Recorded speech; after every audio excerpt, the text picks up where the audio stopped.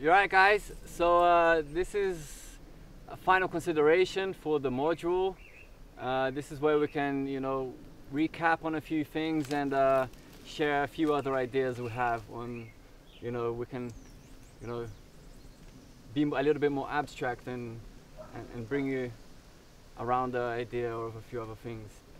Um, for me, Felipe, I wanted to to make clear uh, to to give you guys uh, the challenge to work out what spacing of the beds of the trees might work for you. Right? We spoke here. We have many examples here of four meters between the beds of one tree to the beds of the next tree, with you know with the veg in the middle. And we have next examples of six meters. And I want you guys really to understand this, that the more you spread, the more sunlight you get in. There's, a, there's other factor of how much area you want to cover, how much area do you have to work with, right? If you need to produce a lot of veg, you know, if you really, your main market is, is the market and it's the veg, you know, you need to space it out a little bit more. You need to get more time. You need to be able to produce more, uh, more times, you know, the, the cycle more, of more veg. cycles, yeah. right? But then you beware that you know the main uh, pro- production of the, of the organic material comes from the trees. So once you space that out, you've got less material coming down to the ground. Uh, but then, so you've got your pros and cons. You know, if you're working with like a cow system and you've got many, many, many acres, you know, you, you might want to space the, you know, at 10 meters, 12 meters. You know, so you can really cover the forest in a wider spectrum. Yeah. Yeah, that, that's pretty much it. So it, it really comes down um, to designing how your system is going to work. You know, how much labor can you really put into pruning trees?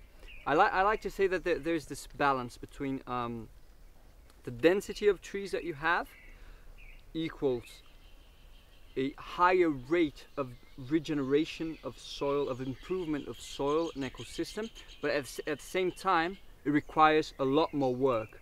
Mhm. You could keep producing vegetables over and over and over, even in a spacing as short as three meters. But you'd have to really be pruning two, three times a year, four times a year, in able to, in order to be able to do that. that sunlight. Whereas if you put uh, them apart, then you, you, you don't have to prune it that often. But like he said, um, you don't produce as much organic material. You don't have as many live roots underneath the system, mhm. so your system doesn't pump as much. So it's really a balance. You have to to see what works for you. There's no recipe, right? Like we said That's many right. times. Um, so we really can try it out. And Felipe, uh, another thing uh, in regards to this, people really gotta let go when you gotta prune. You know, we we're not gonna be oh, but this banana, I love it, but it hasn't. You know, and you really gotta let go. You really gotta understand that as you prune, you know, you're gonna promote more life. That's more material, and then the next banana is gonna be better than this one. So you're really gonna be like, oh, my avocado, but it's so beautiful, and but really I wanted to, you know, if you want to produce the veg, maybe that's gonna pay more. You know, the avocado can be patient, the citrus can be patient. They can wait an extra year sometimes. You know, Exactly. so you really gotta let go. Yeah, it's it's a agroforestry is a system of abundance, and abundance means choice.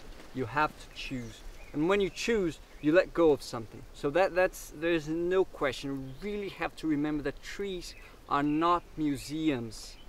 I always like to say that Yeah, yeah, trees yeah, are not yeah. museums. They're they're meant to be worked with, and you can prune them, and they come back. Okay, Yeah. it's not bad. You can take them down, and they come back stronger than before, and your system pumps even more. Yeah, it's beautiful in your garden that, that big tree, but you know if, it, if it's time to for pruning, it's time for pruning. Yeah. When you have, if you have to prune it, you have to prune it. Um, one thing I'd like to mention is that uh, we we showed you four um, main crops, right? Four different systems for four different main crops: vegetables, grass, fruits, and coffee. Not necessarily in this order, um, but anyway. Mhm. And um, there's a lot more. There's a lot more that you can do in an agroforestry system. Basically, anything you can produce in a farm, you can produce inside an agroforestry system. So you could have um, systems for cows, for chicken, like I do. Um, you can have systems for grain production. You could have systems um, focused completely on wood production. You could have systems pr- uh, focused on, on producing heart of palms, like we have um, a lot here in Brazil. Mhm. And wh- whatever you please, you, you and can a do that. consortium of all of those as well. you can Of- have uh, of course. varieties of animals uh, benefiting from the same agroforestry, and you can have, uh, you know, the animals, the, the cows and the horses coming in at different times. If you really want to speed things up, you can protect the, the rows, the beds of trees with electric shock wires, and then you know the cows can come in already from the first year, or you can wait until it's a more mature system without the wires, without, without the shock. So and then you can let the, the, the cows come in and graze. You can have a system where the, the horses come in, eat what horses eat, they you know leave, and then the cows come in, and then the chickens come in. So you really you can play with that quite a lot. Exactly. There's there's so much to be done, so much to be experienced. Um, I, I think that everyone who starts working with agroforestry really should try to have this um, mindset of experiencing and trying things out and doing things in different manners, so that because because it's it's really a research that everyone should be doing because we're really building something new, you know. With all the trial and error because uh, uh, our soil might be different to yours. of so I mean, we tend to plant what we know is going to go right, and we tend to plant with that what we would like to go right, and uh, we, we give it a chance to see if it works within the system. Exactly, and we, really encourage that. You know, don't don't, think that just because it's said that something doesn't work well in your region, you, you're not going to try that. If you want to, just Oh, yeah. try it out. We we really have to have to to experiment. We're always challenging the laws of what people say. You know, oh, but tomatoes don't come well in the rain. Well, it does here because you know it's got it's got that it's got that balance. You know, lettuce we can produce lettuce in the rain here, and in the market it's a big difference for us. Exactly. Where you know the people with it, with- when you do, if you don't have the trees, the wind is a lot more aggressive. You know, the, the, the rain is more Yeah. aggressive, and that breaks it down. Yeah, we really put to trial all those myths that, that people see about agriculture and about specific um, cultures. We really put them to trial, and um, and it, it's also interesting to when, when we think of the variety that uh, agroforestry allows.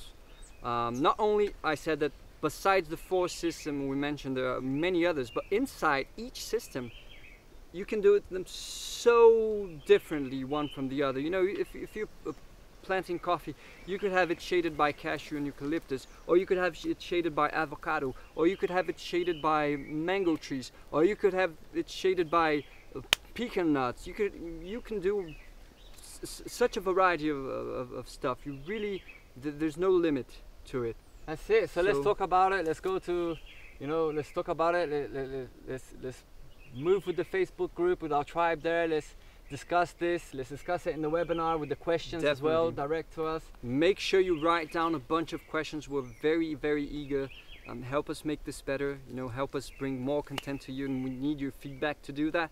Um, so we're really, really eager to see you in the next webinar, and we'll see you there, huh? All right. Sign out. Cheers. Ooh.